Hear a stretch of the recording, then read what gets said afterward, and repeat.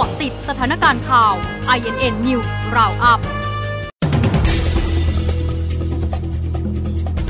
15นาฬิกา11 นาที นายกรัฐมนตรีควงพลเอกอนุพงษ์ลงพื้นที่ชัยนาทลุยแก้น้ำท่วม พร้อมระบุลงพื้นที่รับฟังปัญหาตามนโยบายเตรียมการแก้ไขปัญหา บอกรัฐบาลห่วงใยของรัฐบาล ชี้มีหลายจังหวัดได้รับผลกระทบ เร่งช่วยเหลือเยียวยา 15นาฬิกา29 นาที โฆษกรัฐบาลที่ฝ่ายค้านเตรียมยื่นปปชหลังจบศึกซักฟอกเป็นสิทธิตามรัฐธรรมนูญ มั่นใจตอบทุกข้อกล่าวหาในสภาชัดเจนทุกเรื่อง ขณะนายกรัฐมนตรีมุ่งทำงานให้ประชาชนไม่สนเกมการเมือง 15นาฬิกา37 นาที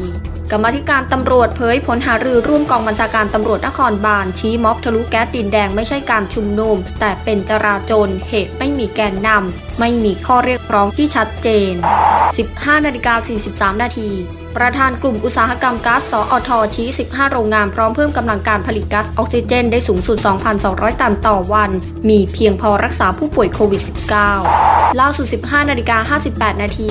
จเรตำรวจแห่งชาติเร่งตรวจสอบตำรวจใช้เครื่องบินขนลำเลียงเครื่องดื่มแอลกอฮอล์เร่งตรวจสอบภายใน 15 วัน